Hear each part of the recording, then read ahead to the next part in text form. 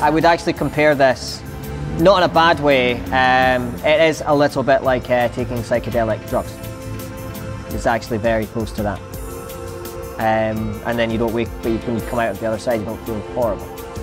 The Soma breathwork ritual was for me very much like a psychedelic orgasm on DMT. I'm a am uh, a licensed psychologist, um, and I've been uh, I'm board certified in neurofeedback, which is you know basically monitoring brainwave activity. Uh, I came across your stuff, and I was like, okay, this is awesome. Is there something consistent in the brain that looks similar to what's happening with psychedelics? And you know, this is a perfect time to look at that because there's a lot of current research happening, you know, looking at psilocybin and LSD and ayahuasca and uh, you know 5-MeO DMT and various psychedelics and what's happening in the brain. So we actually have some pretty solid research literature to compare this. To. Really wanted to look at a specific part of the brain called the default mode network. Yeah, and the default mode network is getting a lot of attention right now because what we understand its role to be. it's really kind of that the network in your brain that is creating your sense of who you are. It's mm. kind of your, you can think of it almost as your ego,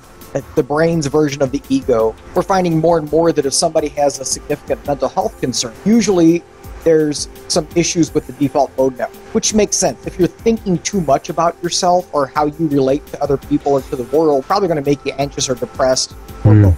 And what's interesting, mm. of course, is that with psychedelics, uh, that whole region basically goes offline.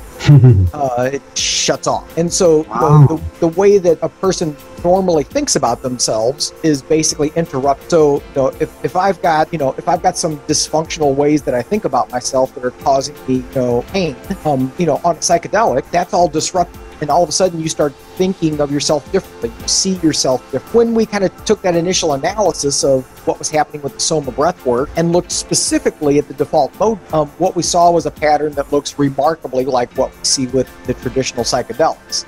There's other research showing that if somebody has a mystical experience on or off of a psychedelic, that is much more likely to have lasting effects, be more life changing in, in a positive way. And again, we saw that pattern here with Soma, where the people in this experiment reported higher levels than with psilocybin or MDMA. You know, the fact that we're getting these results in this situation is, I think, is super significant.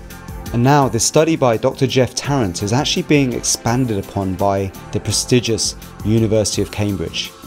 You see, the funny thing is, my mum always said to me, if you study really hard, you can one day go to Cambridge University. However, ironically, I didn't go to Cambridge University, but Cambridge are now studying us. As you can see from this letter, which reads The Consciousness and Cognition Lab, Department of Psychology at the University of Cambridge, that I lead, is currently collaborating on a scientific project with Niraj Naik as director of Soma Breath. We aim to characterize the brain and phenomenological underpinnings of breathworks.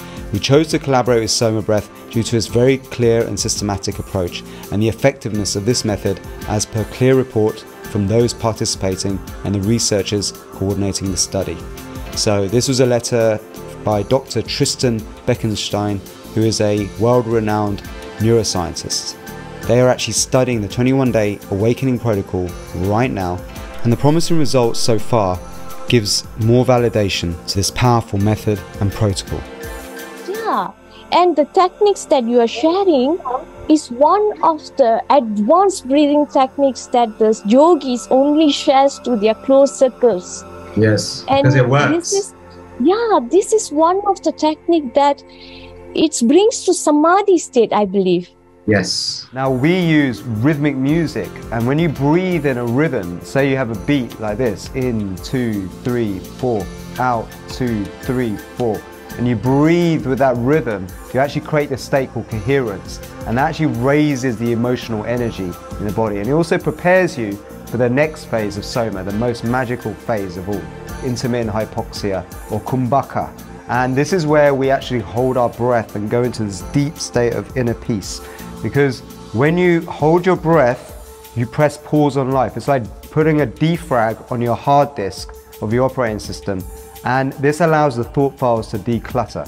What also happens is you lower oxygen levels for a short period of time and your body adapts to having less oxygen. Your mitochondria gets more efficient. You produce energy more efficiently. And this can even help you become stronger, fitter, have better performance, better moods, and even in some cases reverse chronic conditions where stress is the cause.